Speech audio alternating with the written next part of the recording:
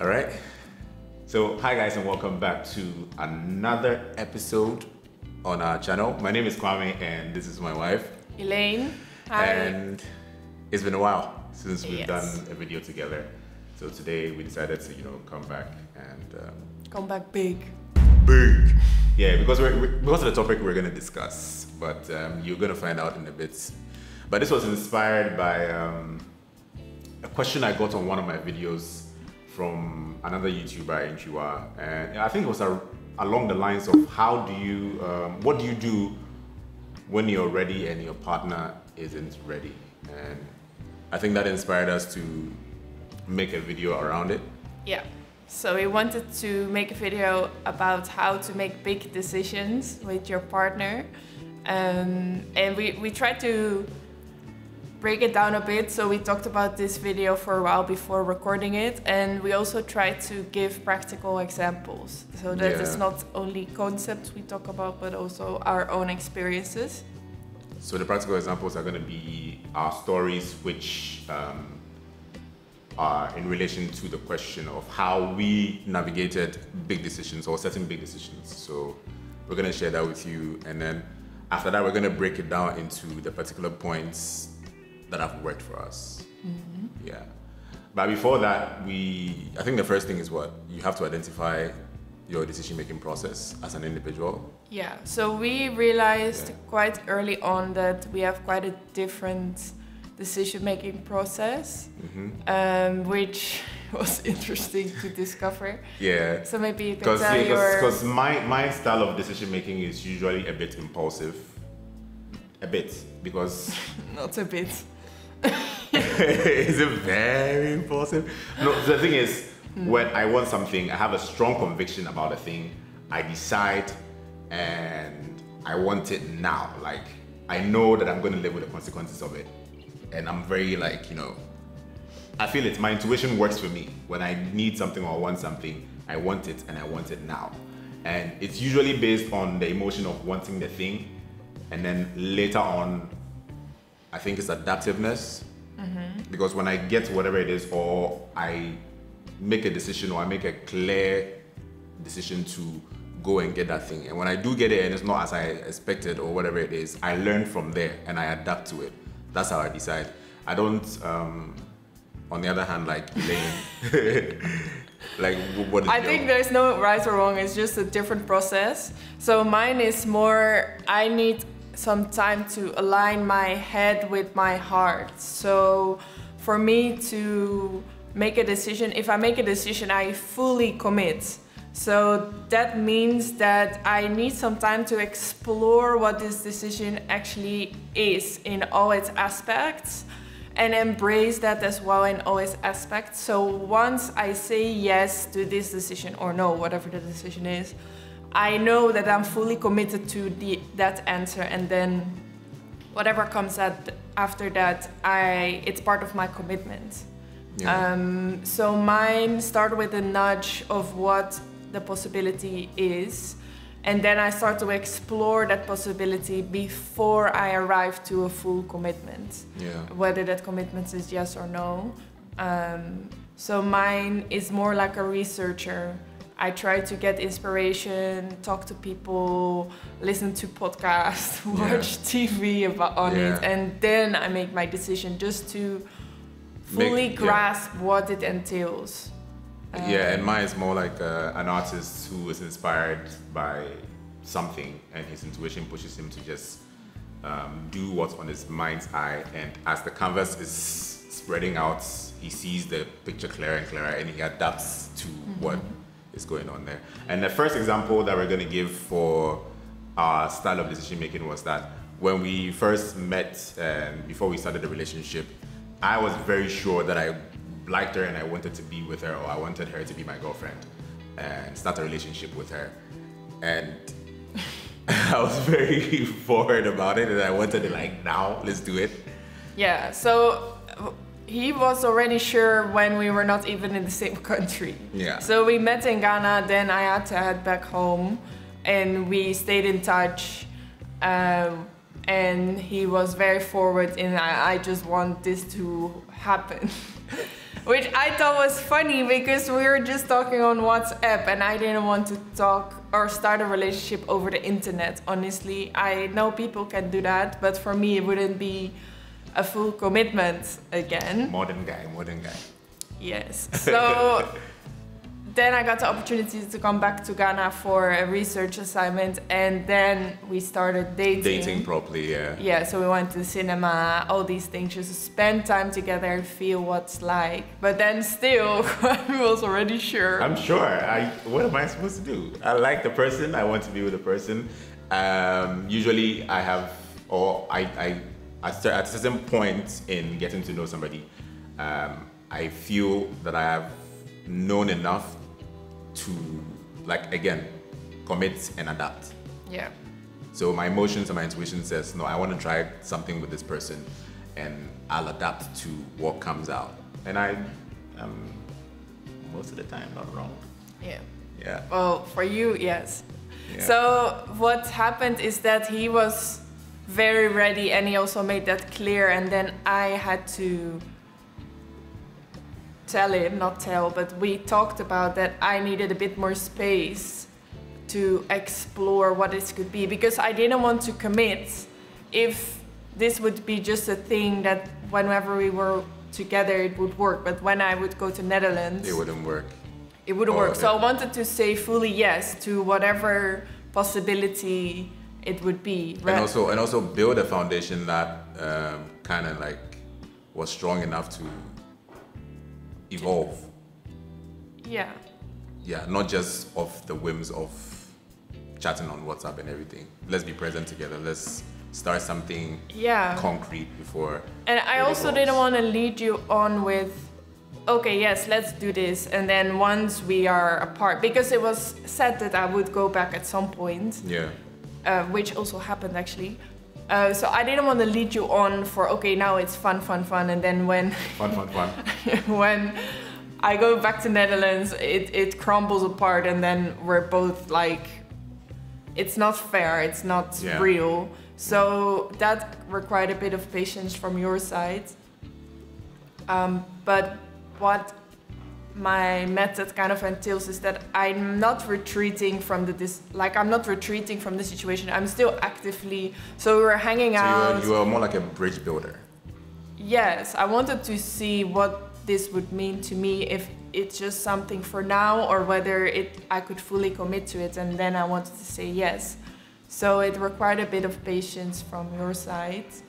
Um, which I think you did very graciously. I, I did, yes, I did very because because again, when I want something, mm. depending on ex- like with my previous video that I made, either saying no or not. You didn't say no. Yeah. You get it? You said let's explore this. It's a it's a possibility. Let's explore. Yeah, yeah, it's a possibility. You yes. get it? So there was something to hold on to or there's something to look forward to and that made it easier for me to yeah. you know, be patient. Yeah. Yeah, but I think not everybody would be able to grant me that space and patience. Because I know it was a bit frustrating for you because yeah. you're like why are you not like what's the doubt? There was no doubt I just needed more time to explore yeah. um, before I could say fully yes. And that worked out in the end because when I went to Netherlands it was still a yes yeah. And we did long distance for one and a half years. Yeah. So that's not easy if you're not sure of something. Long distance will teach you right away if somebody's yeah. your person or not. Yeah. Because it requires extra commitment and determination. So I'm happy that we took our time. yeah. And and I think we, you should check out our long distance uh, relationship video, which is going to probably pop up sure somewhere on the screen. yeah, you can okay. check that one out. Maybe the second example I want to propose is uh, we were long distance for a while. It actually flows into it. So we were long distance for a while. I had a job in Netherlands, and we knew that we wanted to be together in the long haul. Yeah. Um, so it was just a matter of decision making as in when are we going to be together because yes you can be long distance for a while but if you don't have a goal where you work towards to then it's going to be very difficult to maintain Yeah. because it's like, are we gonna? What are we? What are we working toward? exactly. Yeah. Uh, for us, it worked to talk about it and continue to talk about what are our options. And Kwame at the time was working still at City FM. Fam, so his it- it- whole yeah. network was there. His whole life was in Ghana. It wasn't like The easiest of things to do to just you know carry everything or quit everything and yeah, go start over somewhere else. And also the kind of work that I was doing as well. Um, after a few visits to the Netherlands, I realized that it, it wouldn't be as easy for me to um, assimilate into that, that environment yeah, because uh, traditional Dutch radio was still very much um, Dutch. Yes. I didn't speak the language, and most of the stations, as far as I know, even in Ghana, it's not easy for you to enter the system, yeah, even in Ghana. So most people, per the career I was doing at the time, which is radio, start from you know late night shows, night shifts, you know, build themselves before they can get prime time shows. So yeah. it seemed much more uh, higher ladder to cr- uh, climb. Yeah. Going, yeah. So I think what was characterizing of that process is that we had a continuous conversation about what are our options. Will be. So, for example, you also visited Netherlands, you went to film school, just so you would also understand the context of being in Netherlands. What does it entail? How does it make you feel to even be there? Yeah. And then, so we were co- like still gathering information, but then at some point I got uh, the an opportunity to apply for a job in Nether- uh, Netherlands, no, in Ghana. In Ghana, yeah. And then we talked about it over the phone, like, should I do it? Because I was good, I was fine in my job in Netherlands, but this would be an opportunity for us. To be in one space for a longer time, and this was also based on our, you know, strategic, um, you know, comparison. An easy choice or an easier choice than me going there because she had already been to Ghana. She had um, worked a little bit with the embassy, so she had a bit of a network here already. Whilst Yeah. I was completely new to the Yeah. Netherlands, so So then I had to make the decision for myself again do I want to commit to this? So for me, what I discovered is that if I would move to Ghana, one thing I would really need was a job for myself. Mm-hmm. So I wouldn't only lean on you, yeah, you didn't have to come to Ghana for just just you. yeah. Which maybe people find a bit offensive, like, why don't you only want to come for him? But I know for my own sanity and my You own. need a life of your own. I need something. Yeah. I'm very independent and I'm very authentic, so I don't do things the way other people would do. So for me, I would need my own space. Yeah. Like I need to carve out my own space. And how can I do that? I can do that by having my own job and having my own community. And when the job came true, I just applied. I was like, let's see how it goes. If it comes true, then we see whether we want to do it. Then it came true, and I was like, okay, so my requirement of what I need, like my own independence, my own uh, authentic space, it can be a reality. So this requirement has been fulfilled. So let's do it. So I was able to fully commit because I knew what I needed.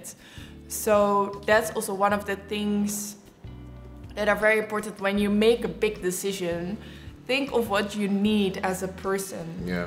Of course, you need to think of what do we need.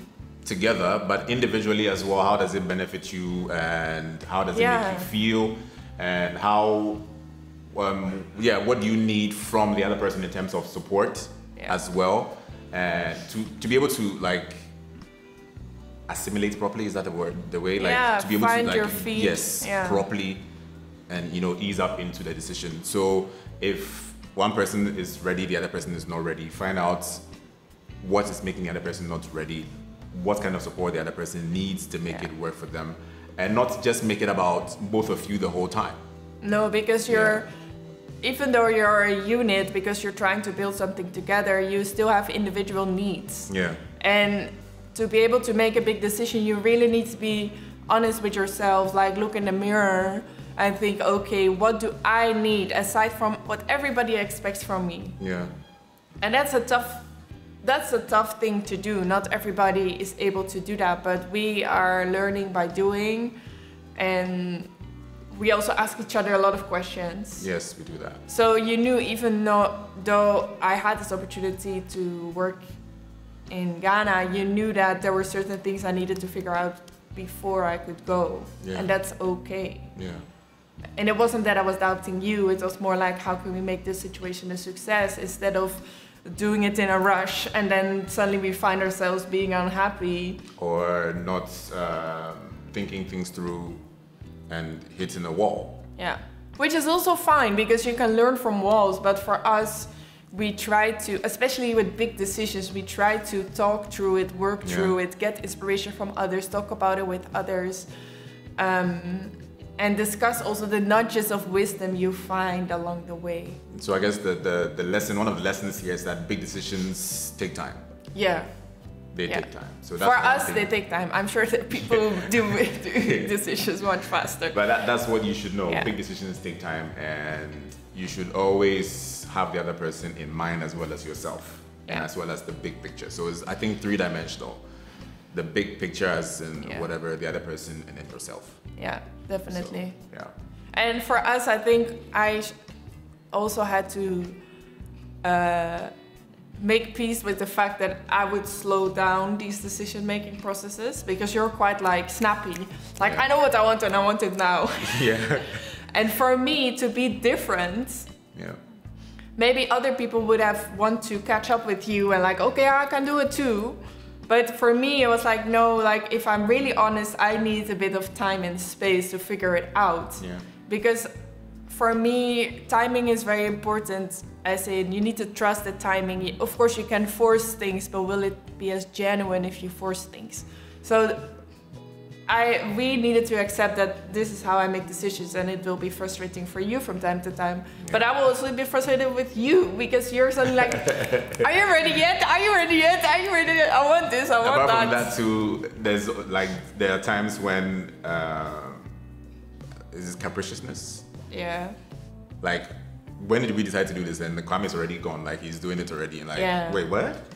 yeah So, so that's scary for me too from time to time yeah. Because I'm like, whoa, whoa, whoa, whoa, like he's already running ahead, and I'm just like, uh, did we just decide this?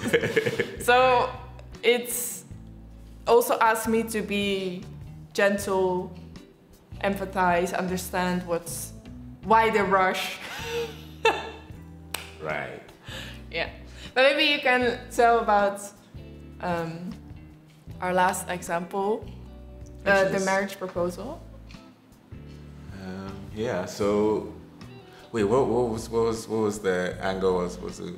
There's no angle. It's just you were very sure, and you were quite. It was quite a rigid decision, right? To Yeah. do it at that particular moment. Yeah, yeah, yeah, yeah, yeah. So um, yeah, with the marriage proposal, again, uh, even when we were together, at some point, I was very sure that I wanted to like you know marry her or be with her. Besides, you know, the first one that was like the first boyfriend girlfriend thing. So early on, very early on in the relationship, I knew I wanted to be with her, but of course, realizing the pattern of how things go, you still need to be, you know, gauging when the right time is. And um, it was, I think, summer of 2018. Yeah, I was in the Netherlands, and I think I had about three days to leave or come back to Ghana. I think two or something. Yeah, and it was her birthday. So I was talking, I was talking with um, Awo, and um, I asked, like, I asked her that, like, this is what's like, you know, the situation, blah blah blah. And Awo was like, Awo is just like me as well. My best friend, she's just like me as well. She was like, do it. So um, I just went um, to the store. I got a ring. Uh, while she was at work, actually. yeah, it was at work. She was at work and I got a ring. I went to get flowers to write a note. And when I was getting the flowers, I even bumped into um, her brother. And I just told him that, oh, I'm just getting flowers for her birthday. So he also didn't have any idea what I was doing. So I was like running around Netherlands, picking things. Not Netherlands, where we, the city, yeah. Yeah. Picking things and planning to do the proposal. And yeah, she didn't, You, did you see it coming? You didn't see it coming. No, I didn't see it coming because thi- this is how you make decisions. He's just like, okay, let's just do it. And I mean, I when you asked me, I asked myself, is this the person I want to be with? And of course, the yes came up. So I was like, okay, I can say yes in all genuine, genuinity, genuine. Genuineness. Yes. Genuineness, yeah. But honestly, for me, I was like, were we already here? Like, I just thought like we we will be together for a while, maybe in a few years. Look, we will see, propose. this, is, this is one thing that um, uh, people make jokes on on um Twitter and Facebook and all these things that you know people date for ten years before there's a marriage proposal, or somebody dated somebody for ten years and he's now proposing, and other women should learn from it because there's this misconception that, or there's this idea out there that women are often giving men pressure, especially in these Yeah. parts, to propose. And you are in a relationship for five years, you don't know where it's going, or you don't know what's gonna happen with you. But that is, was different for me. And funny enough, is her that went Yeah. to wait it out, and I was Not like, not wait it out, but at least I didn't think that we were there yet. But also I I was didn't there, oh. really. I was there from year two. Oh, Yeah. I was already there, please. Yeah, only I think so, okay. I think maybe what's in my mind, I knew we were in for the long game. So Yeah. I already knew I was going to be with you till we were gray and old. I just didn't give Aw. the. I will be wrinkly. You will still be popping. no. Um, I knew we were in for the long haul. Yeah. It's just that I didn't give the concept of marriage a lot of thought. So when he asked, I was like, yes, because I know we are the real thing. I want to work with you to make things work for the rest of my life. I just didn't think of marriage yet. And I just gave him like, hey, what's up? Oh, and there's a funny story of, of the how I don't want to. We don't. Do you want to do it? No, I don't want to do it. I don't know what you're talking about. With the proposal, how it went and everything. no, it's fine. We'll do it. another Yeah, we'll did that another time. So sometimes the decision maker can I can also pace up with him. So with the marriage proposal, I knew this is what I want, even though I didn't give the concept of marriage a lot of thought. I knew I wanted to be with him, and if he asked me to marry him, yes, I want to. Yeah. Um, and we'll figure it out along the way. Um, and we did that, and we're still We're planning a wedding in Netherlands, but COVID happened, so Yeah. it's gonna come. So, so what we what we what we're trying to say All uh, in all. here, all in all, we're gonna break it down into um, the decision making process that we use or that has worked for us over time. And if you're gonna make big decisions with your partner, maybe this will also give Yeah. you some clarity. yeah. We're not saying our way is the right way. It's just what has worked for us, and maybe the process might help you figure some things out as well. Yeah, I think the biggest takeaway is figure out what your decision making process is. Yes, So, initially, yeah. Yes, as an individual, and then when you come together, like how does it? What's the dynamic? Yeah. How do you find a middle ground? Yeah, Because we're two different decision making people. yeah, I am intuitive, emotional, then adaptive later. And she's more like spread it out, research, yeah, and then when you commit, you know what you're doing. So Yeah. two different spaces. So know how your decision making process is as an individual. yeah. And then- Because once you know, then you can also try to understand where the other person is coming, coming from. And then when you're able to address it to each other, you can also figure out what do you need Yeah. to in order to make this decision. So, it, it, it feeds into the second thing being communicates your um, your ideas, Mm-hmm. your decisions that you're trying to make. Communicate with the other person. Have conversations, loads and loads of conversations about it, yeah. and try and make sure that you're on the same page. And it's also important that you, it's a continuous conversation, so you check in from time to time. How is it going? Like, what are, how do you feel about it now? Um, sometimes I get home and I'm like, oh, I talked with a friend about this and this, and she said this. What do you think? Yeah. Um, it, you don't have to have two-hour conversations every time about a big decision, but when you find a little piece of the puzzle, you can share it Yeah. and and see what the other person thinks of it. Yeah. So you bounce the ideas off. It's a continuous thing until Yeah. the decision is finally made. Made. Um, and also, you have to communicate what you need from the other person in terms of Yeah. support through the decision making process. Um, how to make it easier on you mentally to come to that final conclusion. Yeah. Yeah. I think that's also very important. Yeah. Yeah. So in terms of support, it could be let's talk about it, or we should maybe do research together, or um, what? Well, we also sometimes watch a Netflix series on the topic and then Try to get as much information As possible. possible. And So that makes it it's easy. maybe not his It's not, it's not my style. it's not his style, but we still watch it together just to figure out a few elements and then we can talk about it. Um, Not Netflix per se, just Oh, no, yeah. a few content out or there. YouTube, or you f- you see an Instagram post and I share it. So make it Even for articles, us. Yeah, everything, everything. Just it's more like research, research together. yeah. Yeah, And whether that's your way of doing or you just like go along with it like you do, yeah, you kind of find a middle ground to navigate it. yeah. And is there a final thing? No, I think this that's is it. that's about it. Yeah.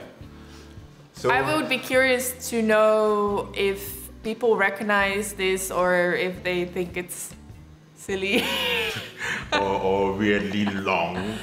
That this is how we, we come yeah, big, by our yeah. big decisions. But I, we think big decisions are pretty important, and um, for the for the most part, I think uh, people tend to struggle with those decisions when you assume that you're on the same Yeah. page, and then you later realize that after committing, yeah. the other person is not going to give the same energy or put in the same amount of work and then you realize that you're resenting the other person for Yeah. leading you on and not communicating properly and you're assuming and if you're an impatient person you have to learn to be patient with the other person but in the patience process is when you talk it's the talking and keeping it active all the time it's like a Yeah. slow burn yeah.